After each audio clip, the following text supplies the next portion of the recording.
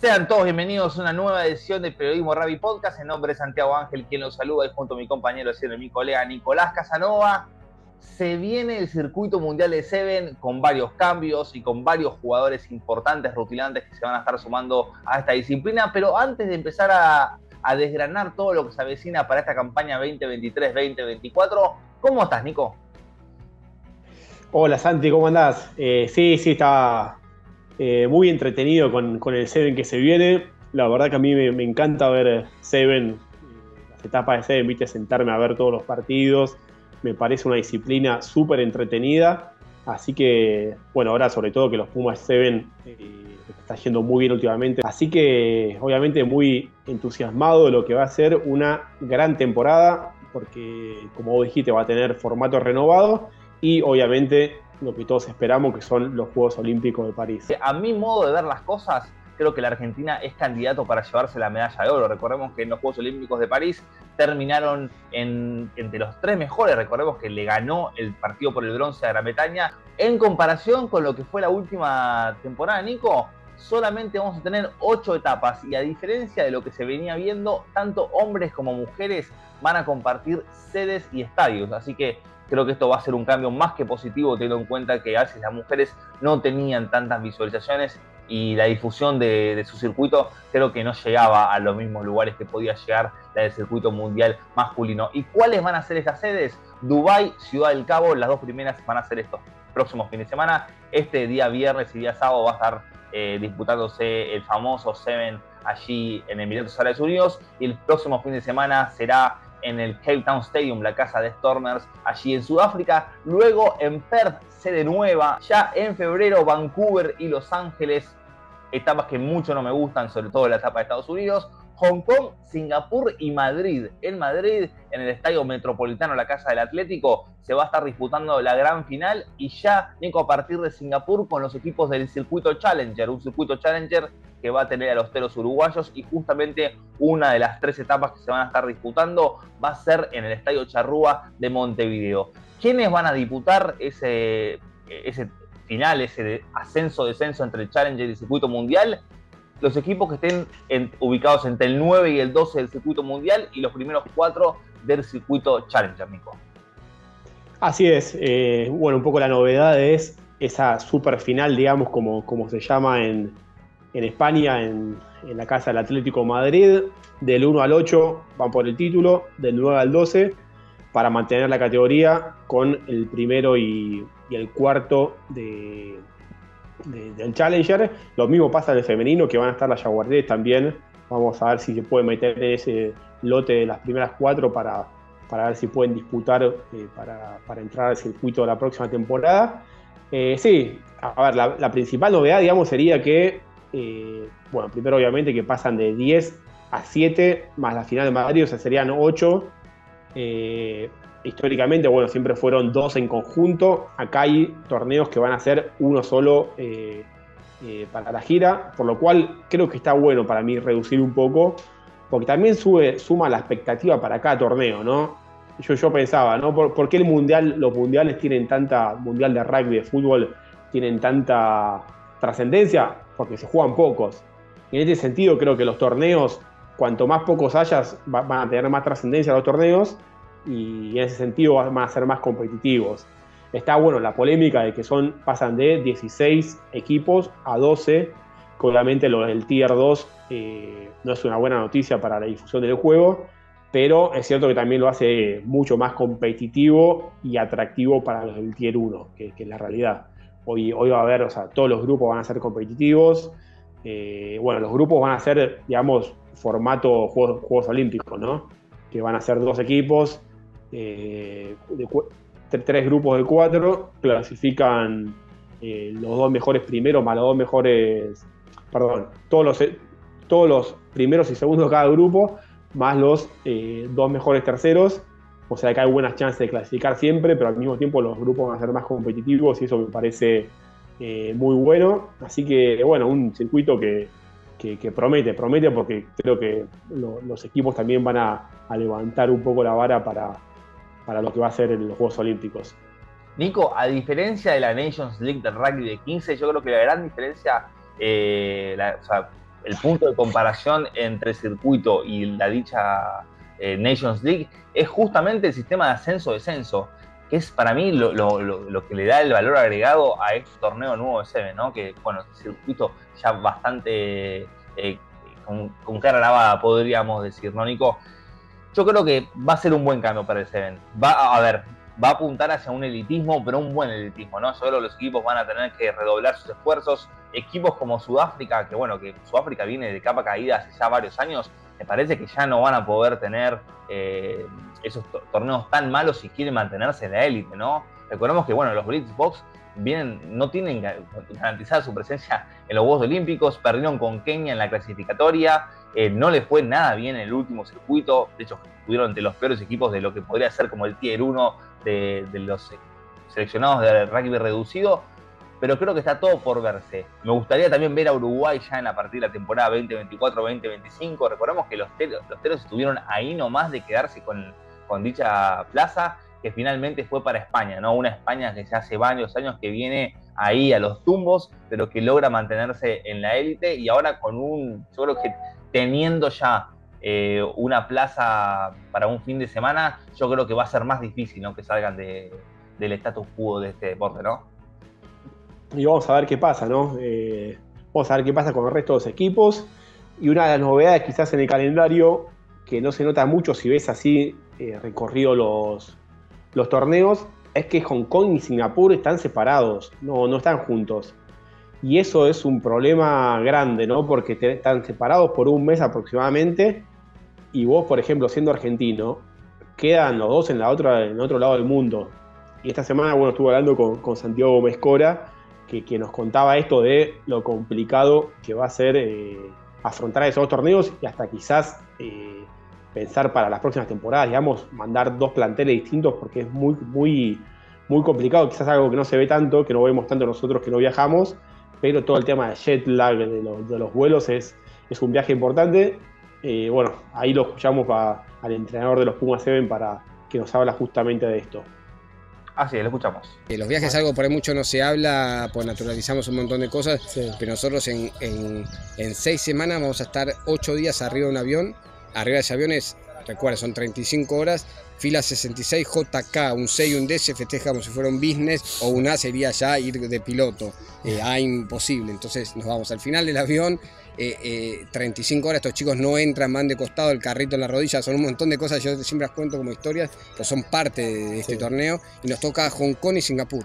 Entonces vamos a tener 8 días arriba en avión y 32 días de jet lag eh, eh, perdón, 22 días de jet lag en esos 40 días de, competencia. Es un montón, ya lo sabemos, lo vamos a vivir por primera vez y estamos viendo qué decisión tomamos, si mandamos un equipo a Hong Kong y otro a Singapur o al revés, porque después viene la gran final. ¿Qué son? O sea, Hong Kong y Singapur son con cuánta distancia? Están separados cuatro semanas. Ah, es una locura. Quedarte es una gira de ocho semanas, es muy costoso y por ahí mentalmente también te juegas una batalla, tener tres semanas sin competir, pero también el viajar en avión, en economy y estar dos, tres días deshidratado en aire, mal comido y, mal dormido, es mucha ventaja también. Entonces, este primer año haremos ese ida y vuelta y a partir de ahí analizar qué nos conviene. Genial. Y bueno, luego de escuchar la palabra de Santiago Gómez Cora, Nico, ahora nos continuamos con este repaso de lo que va a ser eh, la etapa que va a desembocar en los Juegos Olímpicos. Y creo que, como decimos, es el gran objetivo de todos.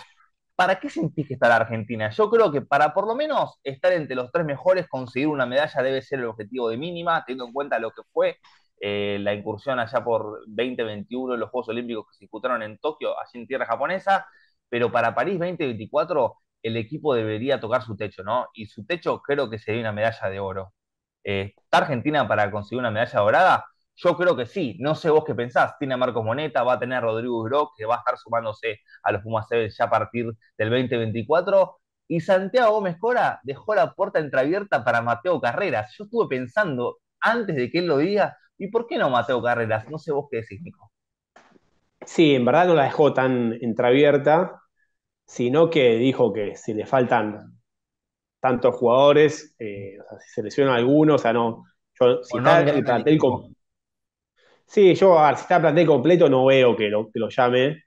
A ver, lo que pasa con Mateo Carreras es que este el puesto wing, que es Mateo, eh, Mateo Carreras, que está Marco Moneta, que obviamente titular indiscutido, y están las opciones de eh, Fraga, que es una de las buenas apariciones, me parece, en estos últimos años, y de Luciano González, que también, al igual que Fraga, alterna entre wing o, forward, digamos, en el, en el, equipo. Yo no, veo llevando a dos wins puros, por eso no, creo que lleve a, Moneta y a Carreras. Yo creo que si le llega a pasar algo, obviamente recemos que no, ¿no? A, Moneta eh, lo puede llegar a llevar, porque como él dijo él también, el puesto win es el que menos eh, adaptación requiere. Win es correr, viste, estar en la punta, eh, aunque obviamente en el Seven todos se mueven y todos hacen todo. Eh, yo creo que más que nada se refirió a eso. Sí, yo creo, a ver, si, nos guiamos por la temporada pasada, claramente los Pumas Seven, bueno, están un escalón debajo de, de Nueva Zelanda. El objetivo obviamente es el oro pero no, no sé si están para oro, o sea, obviamente sí, porque un humano a mano lo puedes ganar, pero eh, yo creo que si me decís hoy, corren un poquito atrás de Nueva Zelanda, que el año pasado la verdad que hizo una, marcó una diferencia abismal. Ya no tengo el dato acá, pero habrá ganado, quedan cinco torneos más o menos, y en otros tres llegó a la final, o sea, eh, fue, fue una animalada Nueva Zelanda, ya con una base, viste, de ser bien afianzada, con Rocolizó obviamente como como máxima figura, con los Curry. Eh, la verdad que son un equipo eh, con experiencia, con juventud, así que me parece que son un poco los favoritos. Y obviamente los Pumas 7 van a estar ahí, sin dudas que, el objetivo es una medalla. Obviamente si se puede mejorar lo de, lo de, lo de Tokio, bienvenido sea. Nico, y Nueva Zelanda, al igual que la Argentina, más allá de que Rodrigo Grossi fue parte del Mundial de 15-20-23, sin figuras de, del rugby convencional, tradicional, ¿no? Bueno, como dijiste vos, con Aquila Rocolizoa como gran figura, eh, bueno, tiene jugadores como Curry, tiene jugadores como Dixon, o sea, tiene jugadores que ya son jugadores de Seven, ¿no? Eh, Tim Mickelson en su momento fue un histórico y siempre jugó Seven y no estuvo abocado al rugby de 15, más allá de que lo ha hecho a nivel Le, Leroy Carter, otro. Leroy Carter, otro foto para mí jugadorazo también de, la disciplina. Pero quienes sí van a abocarse a tratar de conseguir eh, figuras por otro lado son Australia y Francia, ¿no? Y vaya manera de la cual han comenzado. Los muchachos australianos decidieron llamar a Michael Hooper y tengo muchas ganas de verlo porque me parece que es un jugador que se puede adaptar bien a, la disciplina. Más allá de que, a ver, es un jugador ya entrado en años, es un jugador fuerte y rápido. Para mí le puede ir muy bien. Me lo imagino un estilo de Luciano González, no sé por qué pero yo creo que podría llegar a ser esa clase de jugador y Francia que no va a ser este año, pero sí ya comienzo de 2024 con Antoine Dupont.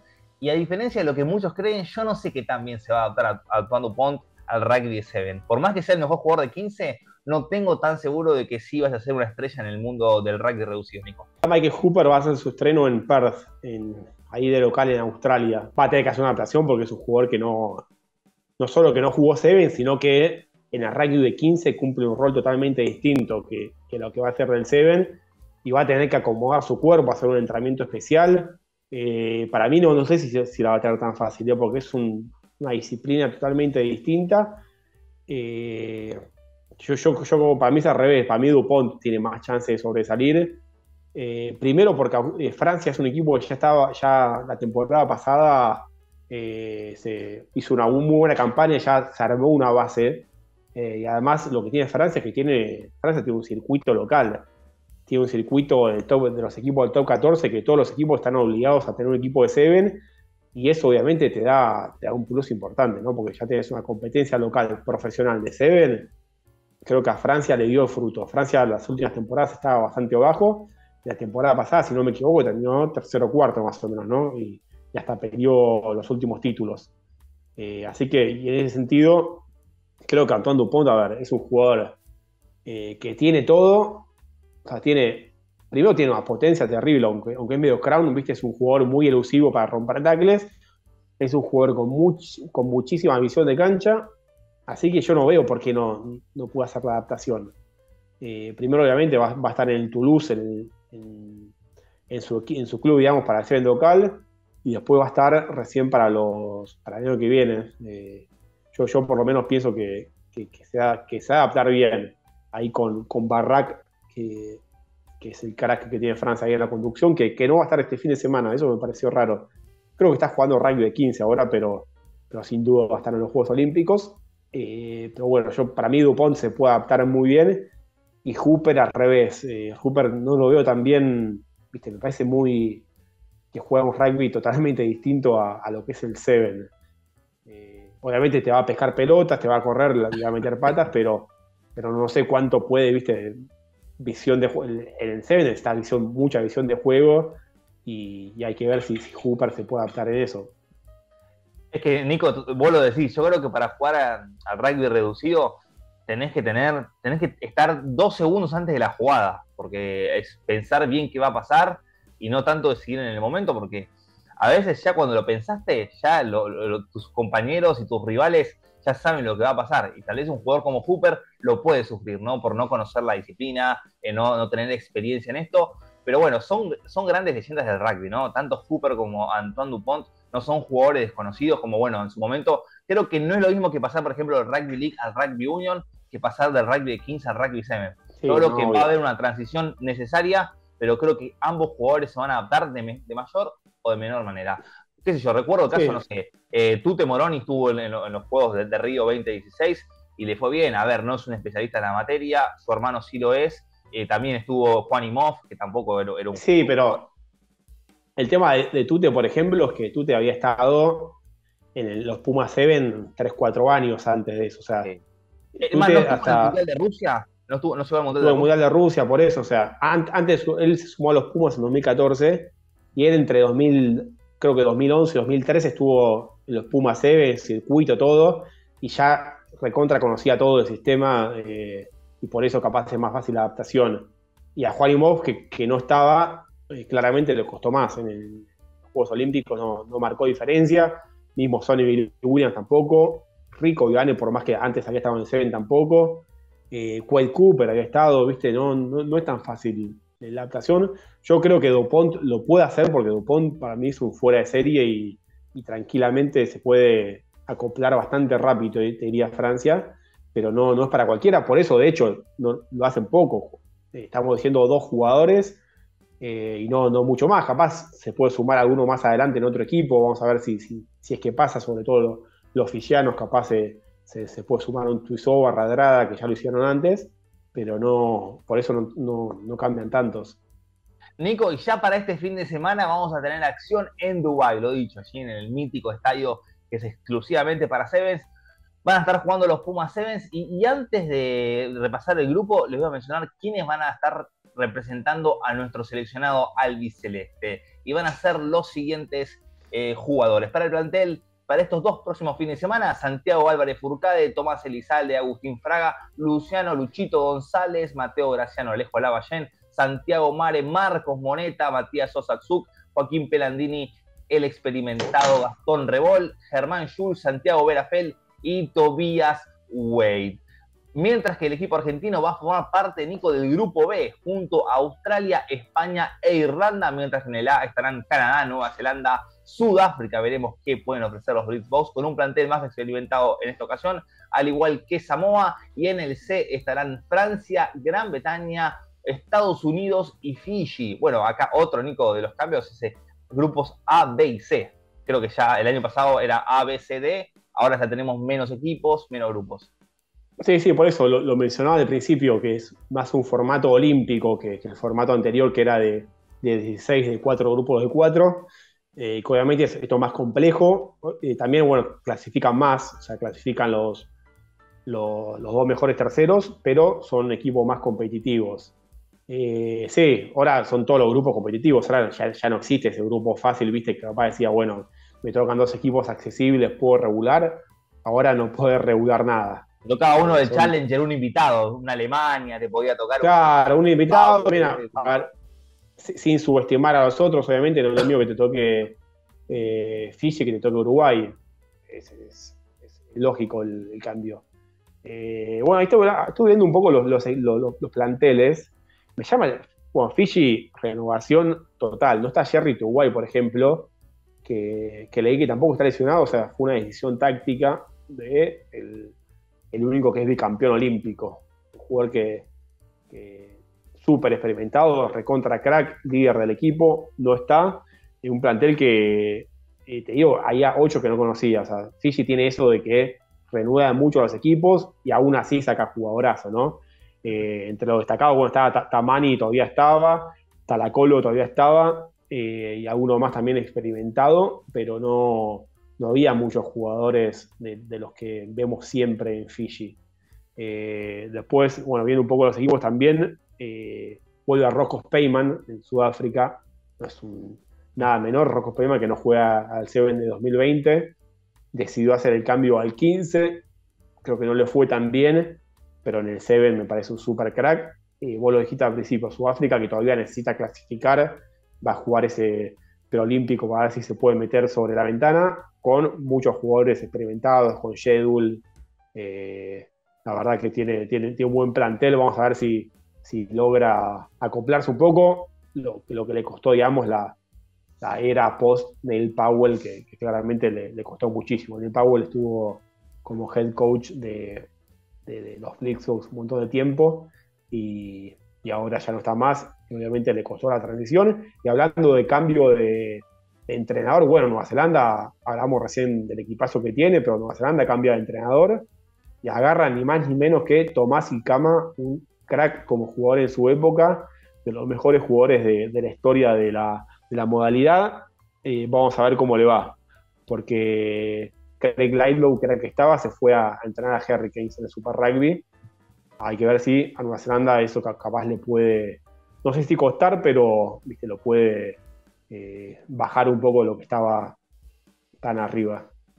Nico, y la Argentina que va a tener tres partidos. El primero será todos el día sábado 2 de diciembre, 3.28 de la mañana frente a España, 7 y 36 AM también frente a un rival que le cuesta muchísimo. Para mí, uno de los equipos que más complican en Argentina, y hablo ni más ni menos que de Australia, con Dietrich Rowe, con Morris Longbottom, jugadores que sabemos que pueden marcar buenas diferencias. Y por último, una 22 de la tarde, ya en el mediodía argentino, frente a Irlanda. Un seleccionado irlandés, Nico, que yo recuerdo hace, no sé, 4 o 5 años, era de los pocos seleccionados del, Tier 1, del 15, que no tenía un equipo de, de, de ¿no?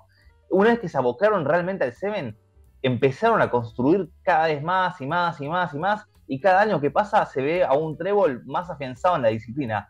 Yo creo que puede llegar a ser candidato para estar entre los cuatro mejores en el circuito, no para ganarlo, porque me parece que está lejos de Argentina, lejos de, Nueva Zelanda, pero sí para estar entre los mejores. Así que es un grupo medio impredecible, ¿no? Para los Pumas Seven. Yo creo que le van a ganar a España y podrían ganar los tres partidos, pero también podrían perder dos de ellos creo que va a depender mucho de cómo se sientan en su primer circuito de este año, ¿no?